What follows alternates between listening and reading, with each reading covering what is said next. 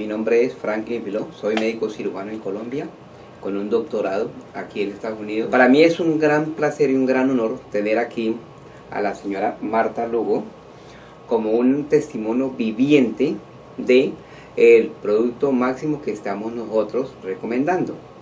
Eh, pero quisiera que ella misma nos contara su historia de su comienzo de su enfermedad y además las cómo llegó a este gran producto.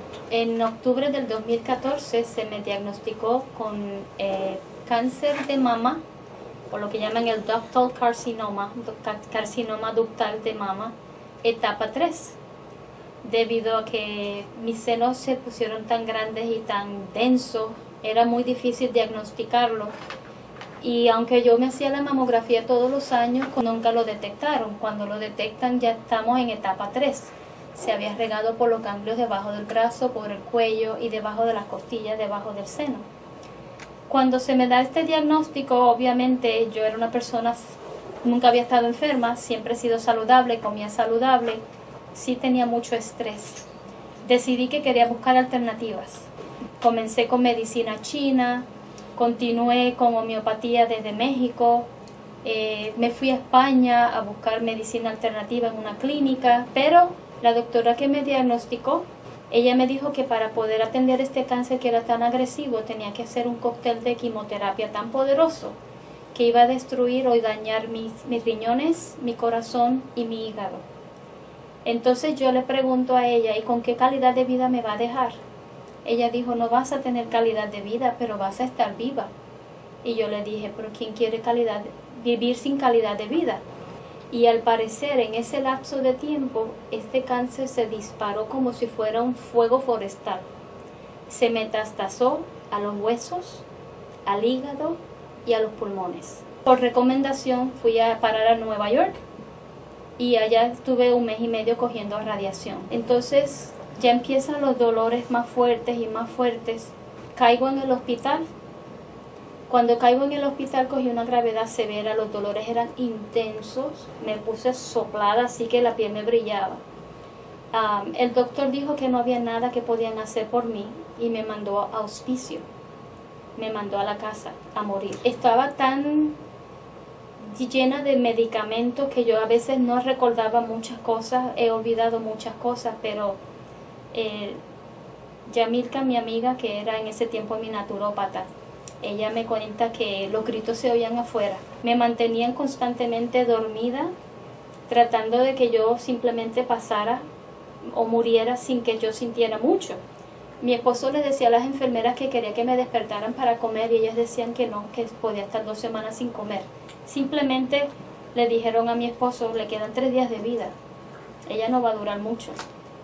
Entonces Gracias a Dios por mi esposo, porque yo le pedí en una que abrí los ojos, despiértame, yo no puedo seguir dormida.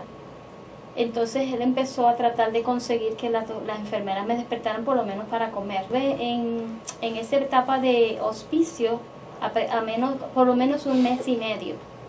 En ese tiempo me tenían con sondas para orinar porque yo no me podía levantar de la cama, no quería ni que parara los pies en el piso.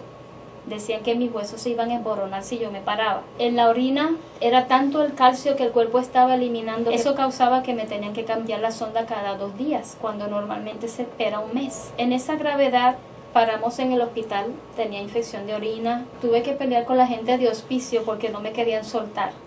Y yo decía, yo quiero vivir y yo voy a luchar. Entonces fui a otro hospital y le digo al doctor cuando está en la sala de emergencia, He venido aquí porque quiero ayuda y quiero vivir. Yo no estoy lista para irme.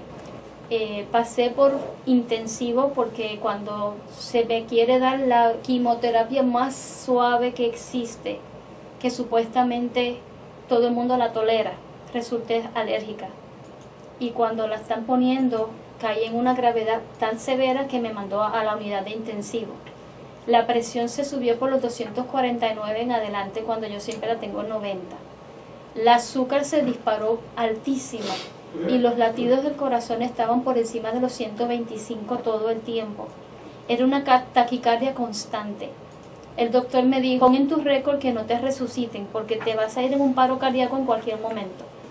Entonces yo le dije, no, y me dijo, si, te, si tenemos que resucitar vas a estar peor porque esas, esas costillas se van a engranar. Pero yo seguía con el interés de luchar. Pero he pasado unos dolores intensos, me daba más de 30 medicaciones diarias. Eh, yo ya no podía comer, tenía ulcerado el sistema digestivo, el estómago. Entonces, cuando estoy en mi punto más bajo, donde ya yo no tenía fuerzas para luchar, cuando ya yo no podía con los dolores, ya yo no dormía de día ni de noche. Entonces, ese día yo recuerdo que el estreñimiento que yo tenía por la medicina era tan intenso, dos veces tuvieron que sacarlo manual, la excreta, eso era dolorosísimo, agonizante. Llegó a un punto que yo dije, ya esto no es vida, esto no es humano, ya yo no puedo más, ya yo no tenía fuerzas para seguir luchando. Entonces ese día yo hice una oración a Dios y yo le dije, Dios mío, si esto es lo que me espera, yo ya no quiero seguir viviendo, yo quiero descansar. Y yo le pedí a Dios que tuviera la misericordia de llevarme a descansar porque ya yo no podía seguir luchando. Es entonces también cuando le digo, pero si tú quieres que yo viva, dame una señal. Entonces llamo a un amigo y le digo, ayúdame a preparar mi funeral porque ya yo no puedo más. Esto es demasiado, ya no soporto los dolores, estoy que no tengo vida, esto es agonizante. Llevaba meses en esta situación. Mi, mi amigo me dijo, deja de preocuparte por eso, que ya eso está arreglado. Yo no sabía que mi funeral estaba arreglado, porque no sabía que me habían dado días de vida. Entonces me quedé tranquila, y no pasó ni una hora cuando me llama Hilda Vicente, a quien le estoy sumamente agradecida porque yo creo que Dios la puso en mi camino para salvar mi vida. Y me dijo, tú sabes que tú te vas a levantar de esa cama. Mi doctor me recomendó, quien fuera el doctor Filo, le había recomendado a ella inmunocal. Y ella había estado investigando sobre ese producto. Y ella decía que cada vez que ella investigaba sobre el producto o iba a una de las reuniones, en su mente decía, oía la voz que decía, Martita necesita esto. Entonces ella ofreció, me dijo, si tú quieres y me das permiso, yo te lo llevo al hospital. Pero por favor, ni lo investigues, ni preguntes, ni analices, tómatelo con fe. No pasó, yo creo que en una hora ya estaba en el hospital, que me dijo, te la voy a regalar esta caja de inmunocal. Tómatelo con fe, un sobrecito diario. Y tú vas a ver que tú te levantas de esa cama.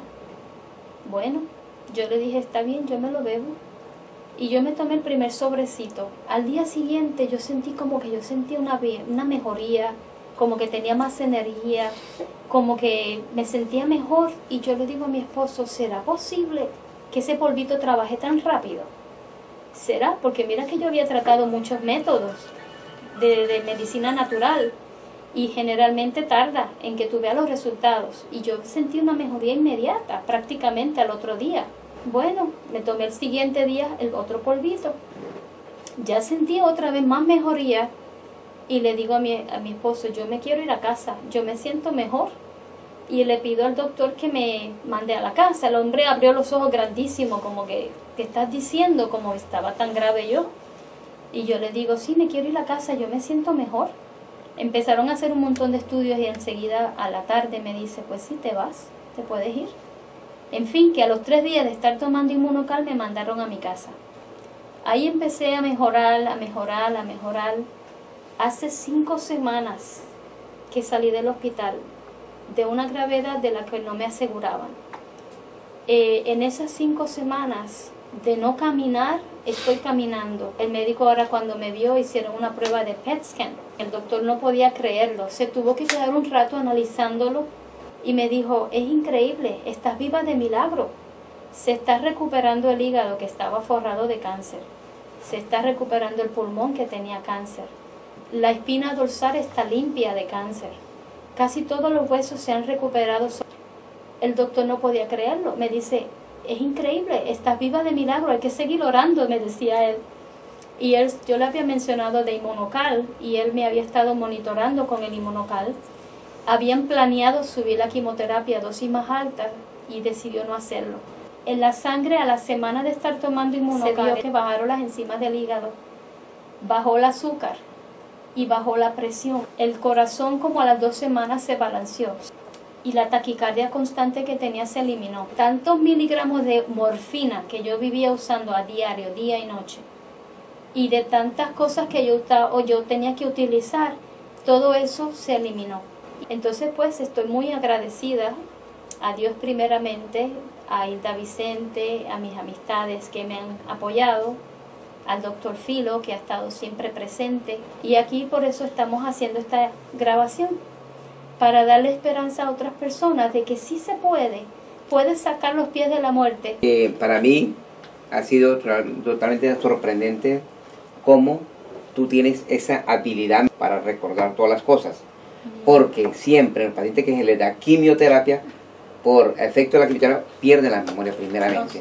Aquí quisiera mostrarles una, este librito que se llama Desapareció de mi vida. Y esto le entregan a todas las personas que que van a morir, que ya cuando están desahuciadas totalmente, cuando quedan pocas horas de vida nomás, se le entrega esta carpeta a la familia como una forma de apoyo.